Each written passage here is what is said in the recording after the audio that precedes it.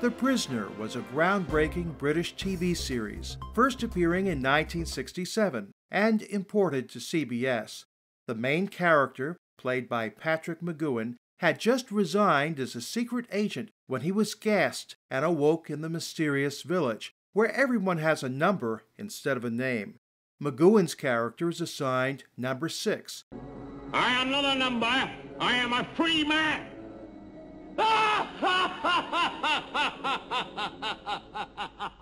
His nemesis is the village administrator, number two.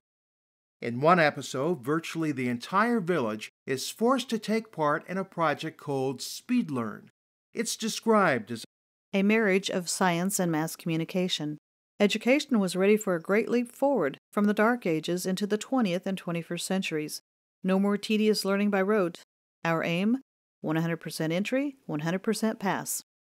That description could have been taken out of a handbook for Common Core. The science of Common Core stems from the operant conditioning of psychologist B.F. Skinner. In layman's terms, Skinner's work was similar to the famous experiments with Pavlov's dogs. But let's get back to number six. In this scene, he has just told number two that he was no student of history.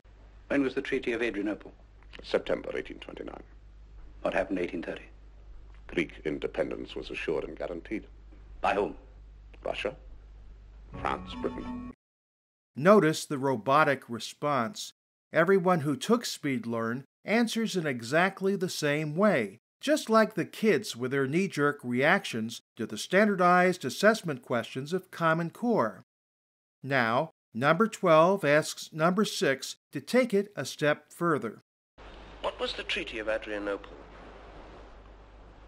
September 1829. Wrong. I said what, not when. Number 6 is unable to reason beyond the individual facts programmed into him. Sound familiar? David Coleman, one of the great popularizers of Common Core, is now working on the dumbing down of the SAT college entrance exams. Among other things, Coleman is dropping mandatory essay questions. After all, we can't expect a student to reason beyond their programmed facts.